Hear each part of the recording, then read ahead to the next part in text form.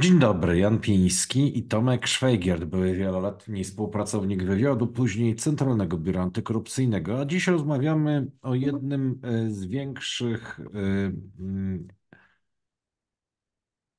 z większych, o jednej z większych afer e, rządów PiS, czyli uczynienie najpierw szefem służb, a później szefem służb i policji Mariusza Kamińskiego, człowieka, który E, od wielu, wielu lat jest ciężko uzależniony do alkoholu.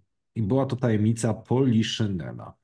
E, szanowni Państwo, czytelnicy naszej książki wiedzą to. Napisaliśmy tam po prostu to, że jest po prostu praktykującym alkoholikiem. Nie było, nie jest to żadna, e, żaden problem, aby to nawet udowodnić procesowo.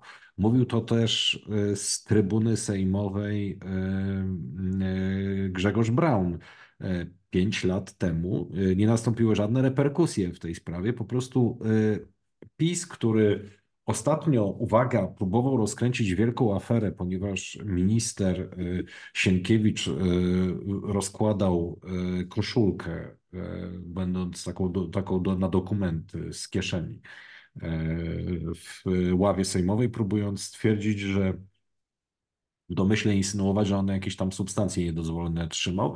Jednocześnie ci hipokryci e, tolerowali faceta, co do którego wiadomo było e, i wszyscy wiedzieli, ponieważ, e, szanowni państwo, momenty zdarzały się takie, że on po prostu nie panował nad czynnikami swojej... Ideologią swoją, tak. Ideologią. On miał ksywę chlor, ale miał też drugą ksywę, cerata. E, ponieważ e, tak borowcy nazywali go, musieli podkładać, zdarzało się e, pod to, po, po, nim, no bo, no bo była po prostu później, były problemy z tapicerką. Ja sobie pozwolę Państwu przeczytać wpis. Natomiast Nowaczyk zeznawał na komisji o tym, jak zachowywał się Kamiński. Chodził pijany na czworaka, całował się z bokserką. No przecież to, to, to, to było znaczy, to czy tak, no, na, nawet y, znam ludzi, którzy pili z, z Maciejem e, Wąsikiem, który też z tego... E, Śmiał się z tego często. Tak, wyśmiewał się e, i mm, e, w całej, i tutaj po, po, pozwolę sobie przeczytać, e, to jest Kamil, e, to jest już znany człowiek, e, Bezczelny Lewak, to jest pseudonim człowieka, który pozwał pana Roszkowskiego. To jest Kamil Mieszczankowski, E, dosyć znana osoba. Ja pozwolę sobie, bo to bardzo dobry felieton napisał na X na Twitterze.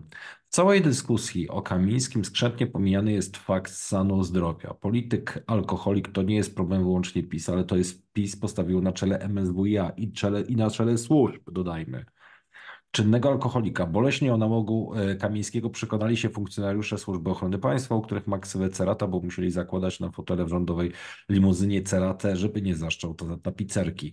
Piszę to nie dlatego, żeby znęcać się nad tym przestępcą, ale żeby pokazać, jak bardzo niebezpieczną dla funkcjonowania państwa może być taka osoba. Nie mając trzeźwej oceny sytuacji, może podejmować tragiczne w konsekwencjach decyzje, na przykład wysłanie Biura Operacji Antyterrorystycznych do połowania kobiet, ale też ekstremalnie podatne na prowokacje oraz wszelkiego rodzaju szantaż. Obce służby całe zawodowe życie czekają na takie okazje. W Warszawie krąży plotka, to nie jest plotka, że 20 lat temu na członku na dworcu centralnym policja złapała wysoko ustawionego członka PiS, jak który po pijaku, no ja to nie słyszałem, że po pijaku, uprawiał seks z nieletnimi z nieletnimi. E, sprawa nie ujrzała światła dziennego, a policjanci, którzy mieli wiedzę o tym zdarzeniu, nagle zaczęli otrzymywać bardzo wysokie awanse i stanowiska w strukturach policji, a potem CBA.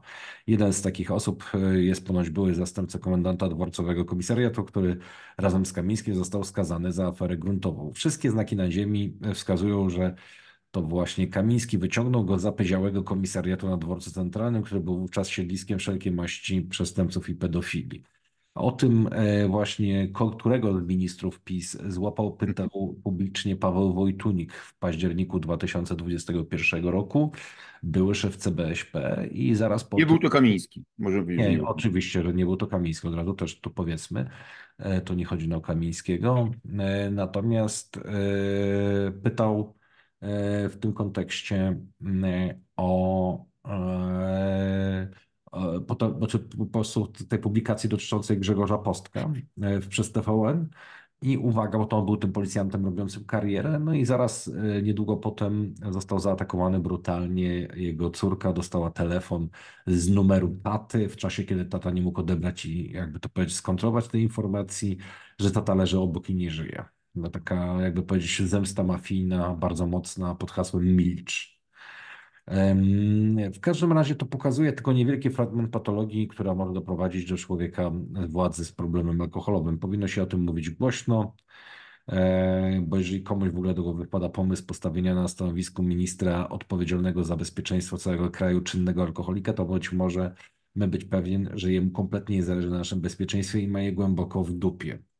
E, szanowni Państwo, e, no, mocny wpis e, utrzymany w tonacji tego, co my mówimy Państwu od ponad dwóch lat, że do sytuacja taka, no przecież my się nabijaliśmy się, w końcu Tomku żeśmy nie poszli, bo oni w pewnym momencie czekali tam na nas, dlatego to, drodzy Państwo, opowiadaliśmy, że pójdziemy przespacerować się tą trasą, e, którą na czworakach razem z Jorkiem pod pachą. Chodzi o stare mieszkanie Kamińskiego, stare mieszkanie. Bo... Tak, stare chodziło o to, że odbywał tam e, między czwartą a piątą heranem wyjścia do nocnego.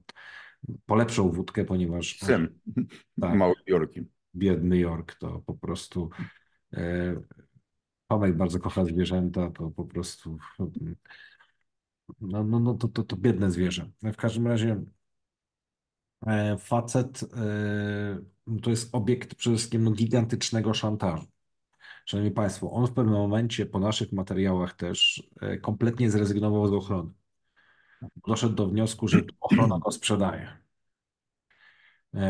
Ostatnie miesiące to nawet pilnowaliśmy pana ministra, żeby mu się nic nie stało i, i, i po prostu przebywaliśmy i szanowni państwo, facet, który rządził e, polskimi e, służbami i policją, e, no powiem tak, no nie miał żaden i rzekomo był, nie wiem, na celowniku przez te grup przestępczych albo kogokolwiek. No, no powiem Państwu tak, gdyby ktokolwiek chciał mu zrobić krzywdę, to, mm, to by ją zrobił. To raczej chyba było tak, że bardzo wielu ludziom zależało na tym, żeby on jak najdłużej pełnił to stanowisko, bo co teraz się dzieje? Tu jest, drodzy Państwo, e, na forach, polic na forach policyjnych e, znaleźliśmy wpis, którego autentyczność sobie zweryfikowaliśmy i on jest prawdziwy. No i to jest tak, że e, to, co się wydarzyło, dlaczego on wylądował w Radomiu, to Tomek ustalił, no bo w Radomiu jest specjalny zespół do zajmowania się ludźmi. Oddział, specjalny oddział szpitalny taki tak, do, od uzależnień uzależnień. To. Którzy mają uzależnienia narkotykowo-alkoholowe. E, tam zastosowano standardowe czynności w zakresie alkoholowego detoksu, a to cząstka raportu więziennych służb medycznych odnośnie czynności medycznych wobec Mariusza Kamińskiego. Po leczeniu wysokimi dawkami benzodiazepinu dożylnie, innymi e, relanium, zastosowania działania uspokajające, przeciwdrgawkowe, neuroprotekcyjne oraz wyrównanie niedoborów elektrolitowych, jak i w adekwatnym leczeniu tzw. Tak objawowym, w wyniku czego po kilku dniach stan pacjenta ze stanu tremens e, powinien się stabilizować.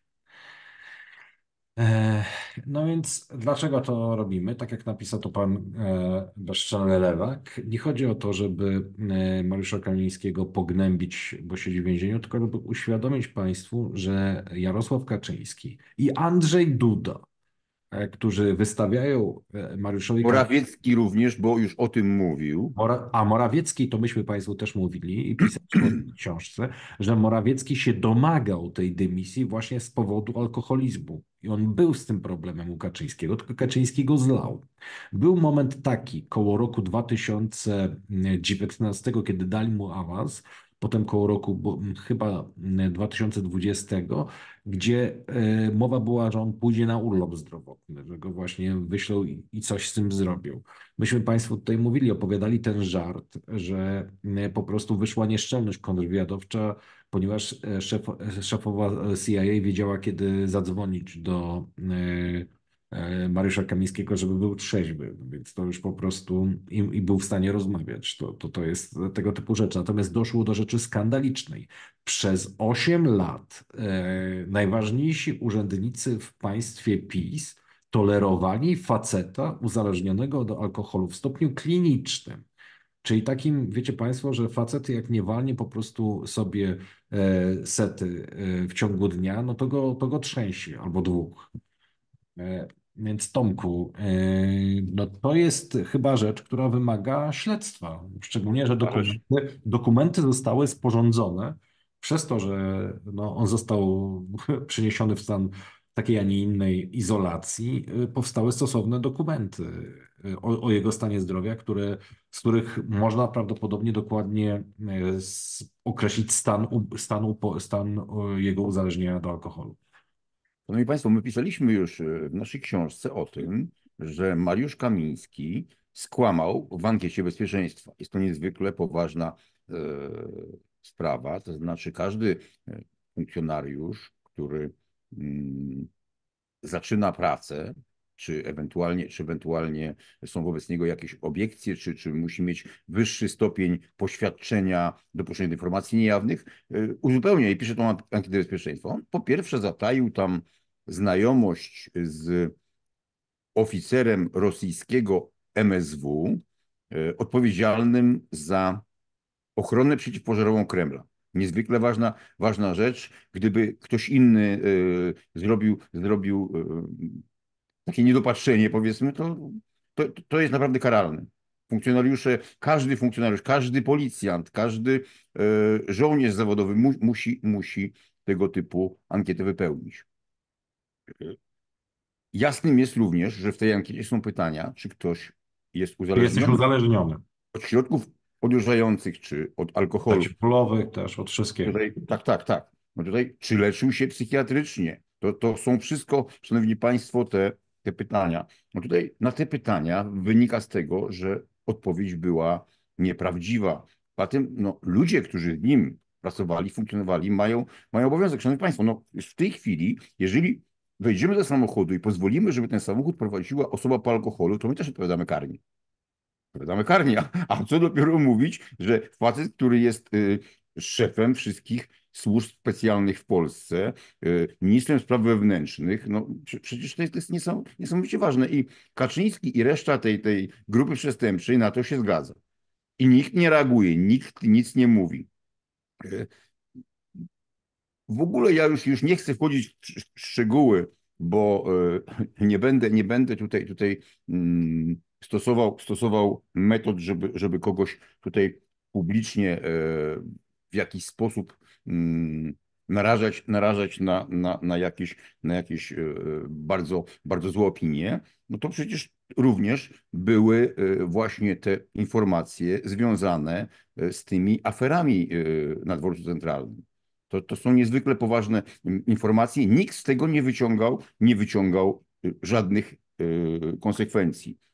Myśmy nawet zadali pytanie, nie powiemy o kogo zadaliśmy to pytanie i o kogo to chodziło bo nie mamy, nie mamy wszystkich dowodów. Natomiast pytaliśmy się, czy toczyło się wobec tej osoby śledztwo w aferze pedofilskiej i odpowiedziano nam, że nie. A policjanci powiedzieli nam, że zadaliśmy złe pytanie, bo toczyło się dochodzenie, a nie śledztwo. I szanowni Państwo, ci ludzie, e, jeden na czele, na czele uzależniony od alkoholu, i jeszcze, jeszcze inni, którzy mają tak poważne, tak poważne problemy, mm, mogą być szantażowani, dowodzi, rządzili naszymi, nas, na, na, naszym bezpieczeństwem. No zobaczcie Państwo, Kaczyński na to zupełnie nie reagował. Nie reagował, nie reagowali na to inni ludzie, którzy powinni to zrobić, powinni o tym pisać szefowie ABW, powinni o tym na to zareagować szefowie Agencji Wywiadu, czy powinni na, na to zareagować yy, szefowie CBA, no, no wszystkich służb. To było powszechne tajemnice. To, to było powszechne. Szanowni Państwo, o tym również yy, wiedzieli przedstawiciele innych państw. To, to jest niezwykłe zagrożenie. Skoro tak, to wiedzieli o tym również nasi przeciwnicy, że w jakimś czasie Polska jest no, mm, słabsza, pozbawiona powiedzmy dowodzenia. Niestety u nas już stworzono takie obejście, tak to określę, że, że ci ludzie rządzili za niego.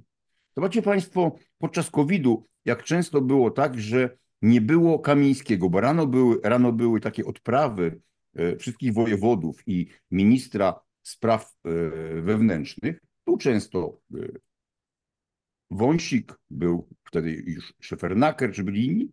Kamińskiego często nie było. Wąsik sobie żartował wśród, wśród kolegów właśnie, że no proszę, no Mariusza znowu nie ma. Żartował nawet, nawet do Kaczyńskiego. Tak, mówi, tak mówiły wiewiórki. Należałoby to w tej chwili zbadać. Należałoby to w tej chwili yy, wyjaśnić i zrobić, zrobić yy, na, ten, na ten temat jakieś, jakieś śledztwo, zrobić w związku z tym tematem jakieś śledztwo, ponieważ no nie może być więcej tak, żebyśmy byli narażeni na tego typu działania. Wiecie, no, w każdym kroku, na każdym kroku, gdzie, gdzie patrzymy, to, co się działo w państwie PiS, no, dowiadujemy się, że y, Macierewicz doił nas na, na, na, na olbrzymie pieniądze.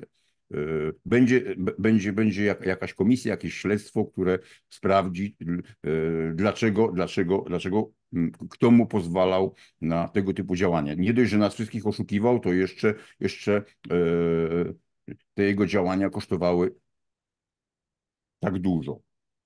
I szanowni Państwo, oglądamy dzisiaj na komisji e, faceta, który, na komisji sejmowej do, do spraw wyborów kopertowych, faceta, który jest członkiem zarządu Narodowego Banku Polskiego. I facet kpi ze wszystkich. E, nie odpowiada na pytania, zachowuje się no, no, co najmniej dziwnie. Proszę Państwa, no, kto takiego człowieka mm, desygnował na takie stanowisko i kto się zgadza, żeby on na tym stanowisku funkcjonował? No przecież e, odrobinę pokory u tych, u tych urzędników państwowych i, i, i, tacy ludzie z PiSu zajmują, zajmują stanowiska. Wydaje mi się, że y, powinien właśnie pod takim kątem nastąpić przegląd kadr, tych właśnie zamurowanych kadr, które tutaj y, zrobili, y, zrobili pisowcy przed, przed zmianą władzy. Przecież to jest niezwykle poważna sprawa. No zobaczcie Państwo, my patrzymy na coś, co przechodzi w zasadzie bez echa. Sędzia sądu, y, sędzia Trybunału Konstytucyjnego, były prokurator, w godzinach pracy jedzie samochodem służbowym po śledzie i po wódkę. No, we wszystkich państwach, y, w których te, te, te standardy są, są zupełnie inne, ten człowiek już, już, już, by, już by nie funkcjonował. Już by nie był. U nas nie ma sprawy. Okazuje się, że prokurator mianowany, mianowany przez Ziobrę chodził, poszedł nagi do sklepu. Przecież ktoś tych ludzi mianował. Okazuje się, że e, wiceminister spraw, e, wice, wiceminister sprawiedliwości tłumaczy, a zarazem e, w takim wypadku pomaga, żeby unikał odpowiedzialności wiceszef służby więziennej, który potrącił y, kobietę na pasach w Kozienicach. Kobieta nie żyje. Człowiek nie ma zarzutów. I my się cały czas spotykamy z takimi, z takimi rzeczami. No przecież w końcu trzeba z tego wyciągać konsekwencje. Bo w państwie PiS to wszystko przechodziło bez echa. Kaczyński wychodził, y, mając informację o tym, że jest olbrzymia afera wizowa, jest na całym świecie bardzo duże poruszenie. okazuje się, że Amerykanie, Amerykanie do nas zgłaszają pretensje, że ich granica przez to, przez to jest niezabezpieczona, że ludzie na polskich, wiz, na, na polskich y, wizach usiłują przechodzić z Meksyku do Stanów Zjednoczonych. No, szanowni Państwo, no, y, nic się z tym nie dzieje. Wydaje mi się, że to jest teraz czas, żeby to wszystko wyjaśniać. To są niezwykle poważne sprawy. Już nie tylko te śledztwa dotyczące e, tych wewnętrznych rzeczy, tego, tego wielkiego złodziejstwa, ale tutaj jest e, narażone bezpieczeństwo państwa. W poważny sposób narażone bezpieczeństwo państwa. Ja pamiętam, kiedy e, siedziałem w więzieniu, Janek i chłopaki odpalili, mówiąc brzydko, zdjęcia wąsika całującego się na wersalce. Przetoczyła się z kolegą, przetoczyła Ładnie się to afera. Grzesiek Jakubowski to odpalił. Tak, tak. I Grze, Grze, Grze, Grzesiu, dziękuję Ci bardzo, Grzesiu. E, e, Przetoczyła się e, przez na, Sejm m, dyskusja, wąsik wył, żeby nawet były, były, by, była taka. Był, e, Groził formu- TVN-owi procesem, ponieważ TVN na- nakręcił audycję, że się pośmiał. Formułowano ta, te, te, takie opinie do mnie, że gdybyś wcześniej, skoro wy coś takiego mieliście, gdybyście to wcześniej pokazali wąsikowi, to, by, to byś nie miał żadnej sprawy. No, szanowni państwo, no i to jest groźne. A może ktoś inny dysponuje jeszcze innymi rzeczami? To dobrze, że to zostało ujawnione, bo nikt nie może szantażować już e, tak ważnej osoby, która, która wtedy pełniła tak ważne funkcje. Dlatego pomyślcie państwo, na co nas naraził Kaczyński, na co nas naraził, e, na, naraziły rządy PiSu. Te rzeczy były formułowane głośno, to była tajemnica Poliszynela.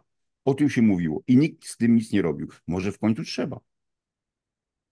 Znaczy to, jest ta, to jest, żebyśmy tego, no bo tutaj jest sytuacja taka, że minister e, w rządzie partii, która mm, już w tamtym czasie przeszła na pozycję taką agresywną, to już nawet nie była homofobiczna, to była po prostu próba mm, pozyskiwania skrajnego elektoratu, ale również szczucia, czyli również e, otwierania, wiecie Państwo, lata 90.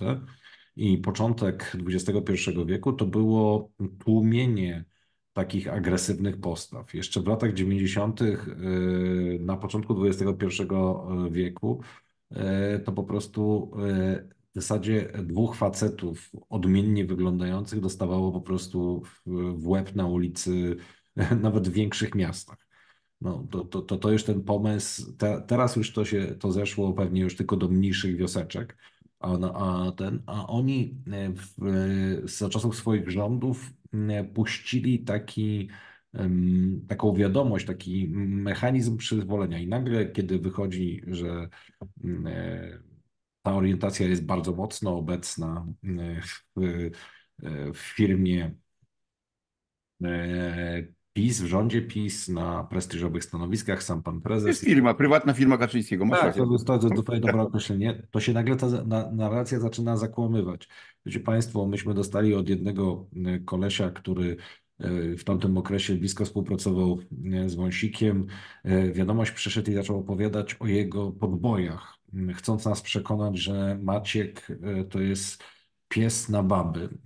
To też były takie klimaty, takie gry operacyjne, że im strasznie zależało żeby uchodzić za tych maczów, żeby zatrzeć te zdarzenia, te zdjęcia z wersalki. Doszło do tego, że Wąsik kazał ludziom e, wyszukiwać e, w, w tych na podsłuchach e, tych, którzy mówią o całowaniu wersalka, Tak. to po prostu, żeby były te słowa klucze, które mm, miały po prostu namierzać tych dysydentów, którzy się śmieją po prostu e, z przełożonego. Natomiast alkoholizm Mariusza Kamińskiego doprowadzenie do sytuacji, w której decyzje, alkohol e, powoduje, że popełniamy więcej błędów, e, tylko mniej się nimi przejmujemy. Mariusz Kamiński podejrzewam, że jednym z ciekawszych rzeczy będzie objęcie przez niego w jakiej sytuacji się znalazł, do jakiej sytuacji doprowadził Polskę, e, co zrobił. To będzie bardzo ciekawe doświadczenie, jak sobie Mariusz e, Kamiński na trzeźwo poradzi e, z otoczeniem, jak on sobie na, na tym, na, na tymi faktami, które otrzymuje, czyli tym, co się dzieje, czyli sytuacją, w której on odpowiadał na przykład za masowe używanie Pegasusa przeciwko przeciwnikom politycznym, e, przeciwko dziennikarzom. Były różnego rodzaju Pegasusy. Był taki Pegasus e, policyjny, który e, bardzo dobrze koordynował lokalizację wiadomości i rozmowy telefoniczne. Czyli taki Pegasus, który nie był, można powiedzieć, nielegalny z punktu widzenia E, prawa polskiego, natomiast e, no, powinien być używany oczywiście za zgodą sądu. Natomiast e, e, e, był używany według e, zwykłego właśnie widzimisię, ponieważ ci panowie e, e, no, Czy Janku, ja chciałem pokazać jeszcze jedno, przepraszam, ci przerwałem. Skąd jest ten olbrzymi problem tych wszystkich sytuacji, gdzie ja patrzę to przez pryzmat no, tego, co robiłem całe życie, że ci ludzie mogą być w jakiś sposób y, później szantażowani. Zobaczcie, przecież to Jarosław Kaczyński skupiał wokół siebie takich ludzi, których można było szantażować. To jest wina Jarosława Kaczyńskiego. U Jarosława Kaczyńskiego y, karierę mogli robić ci, na których on miał haki, na których mógł, tak jak twierdził, w ciągu 24 godzin on mógł, mógł zakończyć jego karierę. I, I to się zemściło, bo rzeczywiście takich różnych rzeczy e, w najwyższych władzach e, Polski było, było takich różnych ludzi było mnóstwo. To, to w tej chwili widzimy, patrząc na, na, na, skalę, na skalę tego, tego złodziejstwa, na, na tą kompromitację, która, która występuje, kiedy, kiedy dowiadujemy się, co tutaj się działo. No przecież cała sprawa ministra Wawrzyka też ma podwójne dno. My nie będziemy na ten temat mówili, natomiast niewątpliwie, proszę Państwo, to, to wszystko, to wszystko, te działania Kaczyńskiego powodowane, powodowane były tym, że ten człowiek musiał na ludzi mieć haki. To znaczy ludzie, tak jak on był bardzo zdziwiony, bo kiedy sprawdzał mecenasa Giertycha, on był szokowany, że tam nie wyszło nic, że Giertych prowadzi nudne życie. To jest właśnie ta różnica. E, Kaczyński uważał, że ma taką wielką broń, że Pegasus jest taką bronią, czy senator Brejza, czy jeszcze inny, uważał, że, uważał, że ma, taką, że ma taką broń, że w sytuacji, kiedy on kogoś tym Pegasusem będzie kontrolował, to wyjdą takie rzeczy, że każdy będzie musiał do niego być niezwykle naprawdę grzeczny albo, albo rzeczywiście będzie już skończony. Okazuje się, że nie. Okazuje się, że, że tutaj nie jest tak, jak jemu się wydaje. I, i to jest takie skażenie Kaczyńskiego, całego, całego naszego społeczeństwa. On rekrutował ludzi, którzy nigdy nie powinni się znaleźć na tych stanowiskach. Zobaczcie Państwo, a wracam znowu do tej sytuacji, przecież Duda, który używał argumentów, używał argumentów y, dotyczących wartości chrześcijańskich, dotyczących e, e, tego, tego bycia wzorem, bycia wzorem polskiej rodziny. I okazuje się, że zaraz po wygranych wyborach drugich dowiadujemy się o aferze z panią, z panią Jolantą, którą zabrał do, do Juraty, do ośrodka prezydenckiego i tam miał jakiś wypadek na skuterze. Przecież to jest policzek dla wszystkich ludzi. Przecież wszyscy wiedzieli. Nagle Służba Ochrony Państwa dopuszcza do zdjęć prezydenta z tą panią Jolantą. Te zdjęcia są jednoznaczne. To widać, jak to wygląda. Kaczyński nie reaguje. Oni wszyscy nie reagują, że prezydent może być w jakiś sposób e, szantażowany, że mogą się dziać tego typu rzeczy. To zobaczcie, no, w wielu przypadkach występują, występują takie e, działania. Przecież to samo, to samo dotyczy, dotyczy wielu urzędników. Ja już, nie, będę, nie, będę, nie będę w tej chwili tutaj mm, na, ten tem, na ten temat mówił, ale zobaczycie Państwo, że u nas nikt nie mógł zrobić, przynajmniej w PiSie, nikt nie mógł zrobić kariery, na kogo Kaczyński by nie miał tak, To, to, to 100%. Natomiast e, kwestia jeszcze Mariusza Kamińskiego, jeszcze raz drodzy Państwo, jest kwestia, podsumowując, jest kwestia tych oficerów, którzy przyznawali mu e, mm, dostęp do e, informacji niejawnych. Każdy z tych ludzi, e, który poświadczał, że Mariusz Kamiński jest człowiekiem, e, który zapewnia rękojmie zachowania tajemnicy, popełnił przestępstwo. E, to jest, idzie, jeżeli Polska ma być państwem, przestać państwem teor, być teoretycznym, to ktoś powinien wyciągnąć po prostu. Czegoś trzeba zacząć wyczyścić. Tak, dlatego że być może wielu decyzji o bezprawnych działaniach by nie było, ponieważ wiecie Państwo, y, to jest na tej zasadzie, y, jak ta słynna papuga pijana, której obiecano, że jak jeszcze raz się na, na, nachleje, to, ją się, to jej się wy, wy, wyskubie wszystkie pióra. Patrzy i mówi, a nacha mi te pióra. Pióra to. I tak trochę jest, wiecie Państwo, jak Mariusz sobie walnął trzy setki, e, tam jakaś tam prokuratura, jakieś tam zarzuty, jakiś tam sąd. E, żyjemy tu i teraz. E, więc to jest pierwsza sprawa. Po drugie, dodajmy, jeden z ważniejszych ludzi e, w Agencji Bezpieczeństwa Wewnętrznego kryptonimie Wojant, o pseudonimie Wojant, bo tak go nazywali, Drugim pseudonim, który miał, to był Mały Chlor. Też był patologicznym alkoholikiem i e, Mariusz Kamiński zezwalał na to. To akurat była konsekwencja. No z nim pił często też. No. Tak, no ale skoro, skoro, skoro ja mogę, to oni, te, to oni też. No. Sytuacja, w której facet e, nie zostaje e, dyrektorem E, jednostki z uprawnieniem e, do bycia pełnomocnikiem do ochrony informacji jawnych, ponieważ to poświadczenie wydaje SKW, a SKW mówi wyraźnie, że będzie żądać jego e, teczki z leczenia alkoholizmu. I czy ją dostanie, czy jej nie dostanie, to mu tego poświadczenia nie wyda, to ludzie nagle odchodzą i szef ówczesny Piotr Pogonowski wydaje polecenie, żeby wydać mu poświadczenie bezpieczeństwa. Tak być nie powinno. To są, drodzy Państwo, rzeczy niedopuszczalne. Mm. E, natomiast. E, Tylko w agencji wywiadu funkcjonował człowiek, który został złapany na ohydnych czynach pedofilskich. W ogóle to jest, drodzy Państwo, jeszcze kolejna sprawa. E, tutaj informujemy nowe kierownictwo, że do tej pory sprawa pana W. Tak. 2020 roku nie została w żaden sposób e, profesjonalnie przeanalizowana. To też informacja dla pana Tomasza Siemieniaka, że pedofil, e, człowiek z zarzutami pedofilskimi przez wiele lat e, był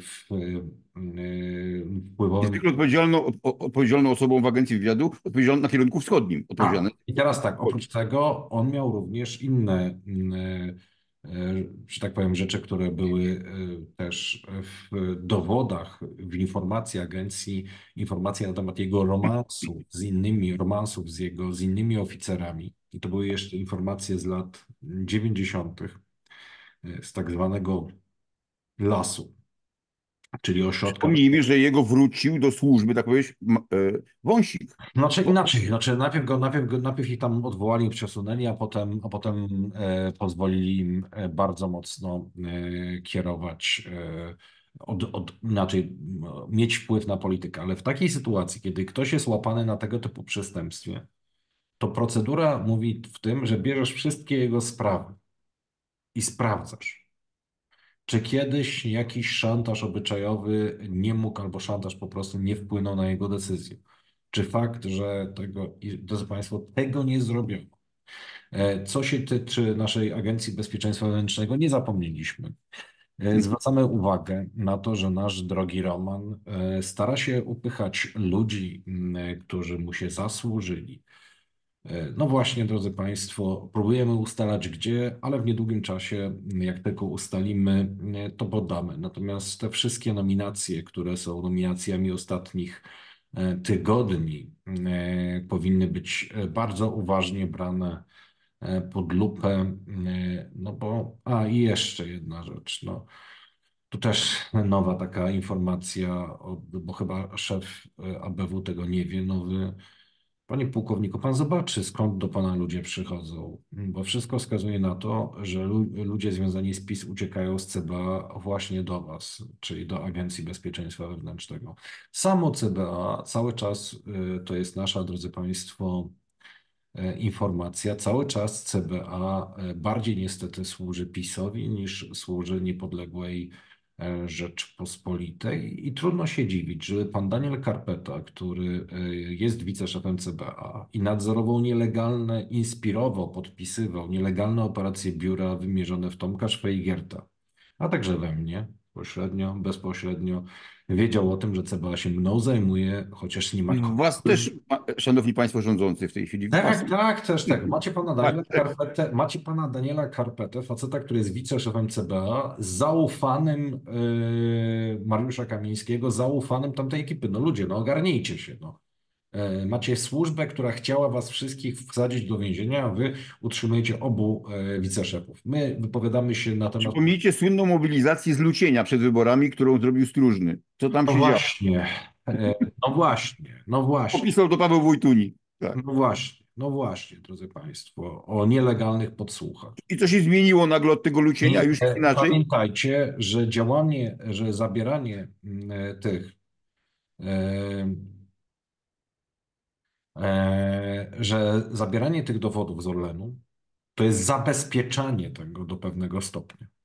To jest sianie dezinformacji. To musicie po prostu zrozumieć, że to nie jest pomoc. E, To nie jest pomoc e, taka, e, to jest próba zamieszania z opinią publiczną. To jest tak samo, jak zrobiono w Agencji Rezerw Strategicznych. E, To jest e, próba zamieszania, żeby w samej koalicji pojawiły się spory, e, w jaki sposób rozwiązać kwestię tego. I to jest, mówię, dopóki nie zlikwidujecie CBA e, w takim kształcie, jakim ono było zapisu, to proszę nam wierzyć, do tej pory e, ludzie e, z CBA pisowskiego będą karmić ludzi, e, będą karmić Kaczyńskiego wiedzą. Tam jest cały czas transfer wiedzy, transfer informacji. Na bardzo na swoje nieszczęście wy się nami zajmujecie, co powoduje, że dostajemy odsłuch tego, co wy przekazujecie, z zastrzeżeniem, że więcej teraz nie możecie, ponieważ oni są czujni i elektryczni. No, to jest Podczas mojego pierwszego zatrzymania zatrzymano, ja dam tutaj przykład, zatrzymano u mnie kilkanaście pendrive'ów, te pendrive'y okazały się puste. Ja tłumaczyłem, z- wcześniej, około miesiąca wcześniej zaniosłem do CBA wielką torbę materiałów całej, ca, całej księgowości gangstera Pawła K., tego od y, y, tej mafii, od mafii paliwowej, y, od miliardów wyłudzonych. który, który wyłudził, o, o, o, przy, przypisuje mu się wyłudzenie około miliarda złotych. Mm, Wspólnika Marcina Bosia, ten, te, tego, który był poszukiwany listem go, gończym bez zdjęcia. Szanowni Państwo, cała torba, to, to, o tym zeznają funkcjonariusze, ich księgowości, e, kont, których nie, znała, e, nie, znały, nie znały służby, osób, które, które brały łapówki, ze służb również, cisza.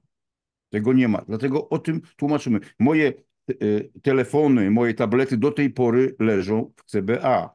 E, Materiały, które usiłowano e, włożyć do mojego aktu oskarżenia, ja pokazałem, że są zmanipulowane, bo ja pokazałem, że są inne, że, że ukrywają materiały. Jakie wy macie w tej chwili gwarancje, że oni nie ukrywają części materiału? Do tej pory CBA e, trzy- przetrzymuje telefony Tomka. E, Po tym, kiedy pokazałem, że, że, że, mamy, że mamy te materiały i ściągnęliśmy je z chmury, to zabrali te, te telefony z sądu i trzymają te telefony. Trzymają u siebie. Mamy, To jest naprawdę poważne niebezpieczeństwo, to co się w tej chwili dzieje. No więc mamy, Szanowni Państwo, m, taką sytuację na froncie i mówimy Wam do zobaczenia e, o 10.15 na kanale głównym. Do zobaczenia.